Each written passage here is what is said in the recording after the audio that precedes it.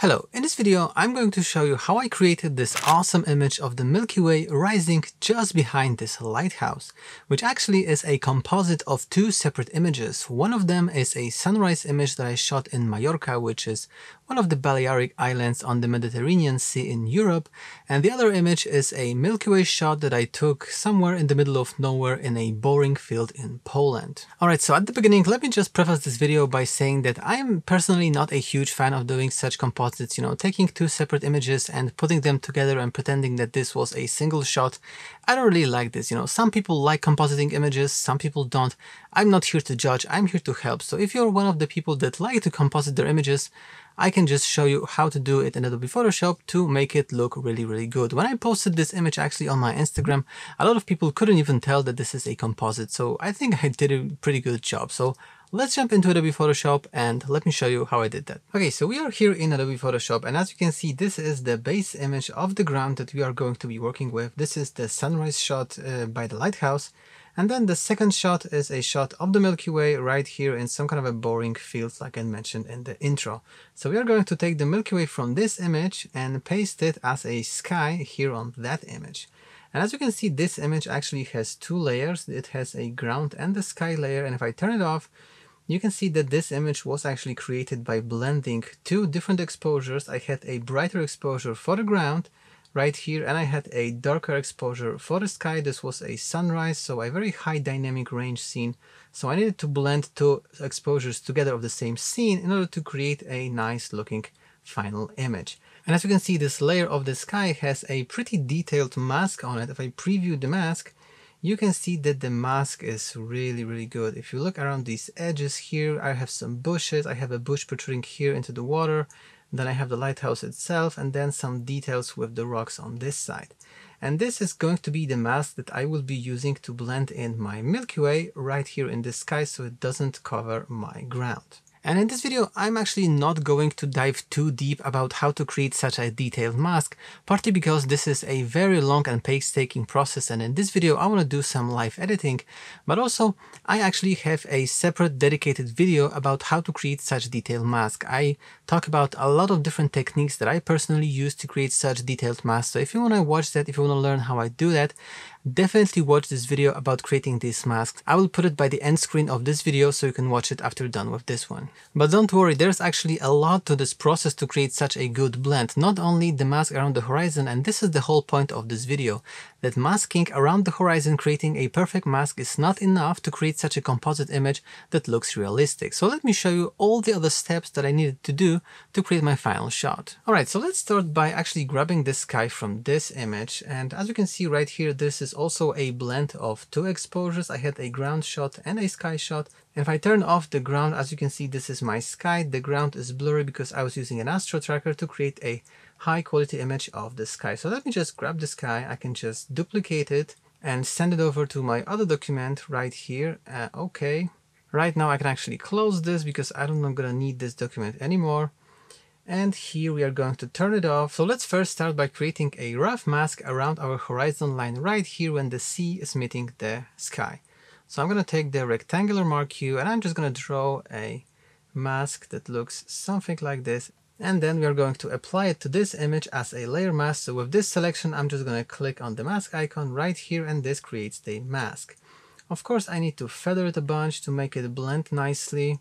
So I'm just feathering out, feathering it out. Uh, the problem right here is that it is feathering these edges right here. So in order to combat this, we can actually disable the linking between the image layer and the mask. So I'm disabling that. And then with the mask selected, I'm going to hit the free transform. So command T or control T if you're on a Windows, and then just uh, enable that and move it upwards. Okay, as you can see, those edges are not feathered out, only this edge right here is feathered out. This is exactly what I want. And right now, let's make use of this mask that I have already created right here for the image of the ground. So in order to sort of use two masks on the same image, I'm just going to put it into a group. So I'm going to select this and hit the group icon, then put this guy into the group, and then holding the Alt or Option key, I'm going to copy the mask from here to the group. And right now, as you can see, this is how it looks. This is without this mask, this is with the mask. So now these elements that were previously covered by the sky can be visible. And as you can see, this is pretty much how it would look if we were only to use a mask around the horizon and feather it out. Obviously, it doesn't look very good. So first, let's actually reposition our sky. So with the mask that is unlinked from the layer, I can have the layer selected and then activate the free transform. So again, Command or Control T.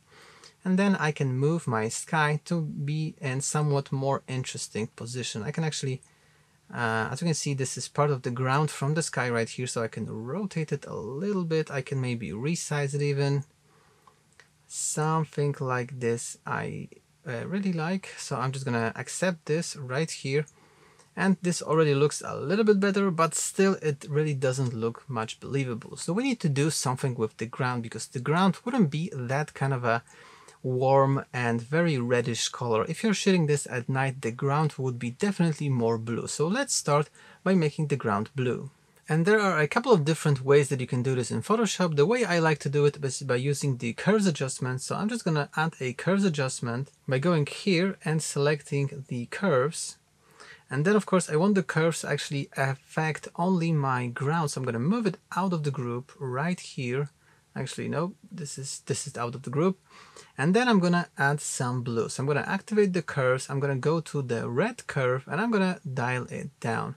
That way I'm going to remove a lot of the red from our ground. This is already starting to get a little bit better. And then I'm gonna switch to the blue curve and I'm gonna move it upwards. I'm gonna pump a little bit more blue into my ground. And this starts to look more like a night scene then of course I need to darken it down, so I'm going to switch it to RGB and I'm just going to move the curve a little bit down in order to sort of darken it. That's probably the way I would like it. Maybe tweak it around a little bit. And this already looks a little bit better, but we are going to need to darken the water here because the water we are actually going to be keeping We'll be adding a reflection of the sky and the water in just a moment, but we need to make it darker because obviously this water that rich of a blue color doesn't match this scene. So I'm going to add another curves adjustment, again here, and then curves. I'm going to move it here, and then I'm going to use the mask of the sky, this one again, so I'm going to remove this mask that was added by default, and then holding the Option or Alt key, I'm going to copy the mask here. And right now I'm just going to darken it down, and this probably looks uh, a little bit better. So right now I want to add the reflection in the water of our sky and as you can see this water doesn't look all that great. As you can see you can see this ripples of water it's not perfectly smooth. If this was taken as a long exposure the water would be way more smooth than what I have right here. And this is actually something that cannot be easily fixed in post-production. If I was shooting this image of the ground with the intention to blend it together with a Milky Way night scene I would have used uh, an ND filter on my lens uh, and ND filter. I have a VND right here, which is as I turn it, as you can see, it's getting darker or brighter. But of course, you don't need to have a VND. You can actually, for photography only, I would recommend to use a fixed density ND filter. This is something that you can screw on onto your lens. And even at daytime, even if it's super bright, you can take long exposure photos and that way you can smooth out the water. So this is what I would do if I was taking this photo with the intention to blend it. But because I didn't do that, we need to work with what we got. And by the way, a link to some of the ND filters that I would recommend will be down below in the description if you want to check it out. Okay, so to add the reflection, this is actually very easy. We are going to uh, copy this layer of the sky that we have right here. So to, in order to copy that, I can hit Command or Control J this created a copy of that. Then I'm going to invert this mask because I want to see it right down below the horizon light here. So in order to invert this mask, I'm going to hit Command or Control I. This inverts this mask and then I'm to flip this layer upside down. So the way I do it usually is by going to free transform, so Command or Control T.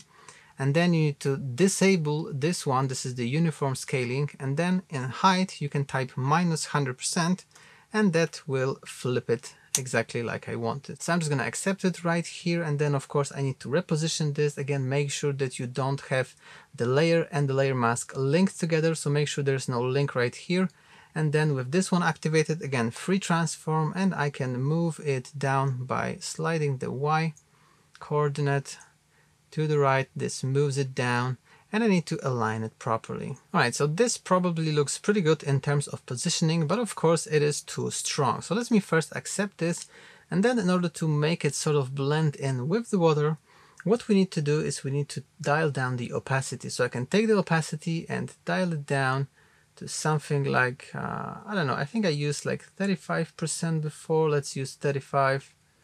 Okay, 36. I think this looks pretty good. We have a hint of the reflection here in the water, but obviously it's not too overwhelming. You can also play around with the blending modes right here, maybe screen or something, but honestly, I think that normal with dialed down opacity looks the best to my eye. And right now we are actually very close to the final image, but something still feels a little bit off. And what feels off to my eye is that this line, this transition between the sky and the water here is a little bit too clear.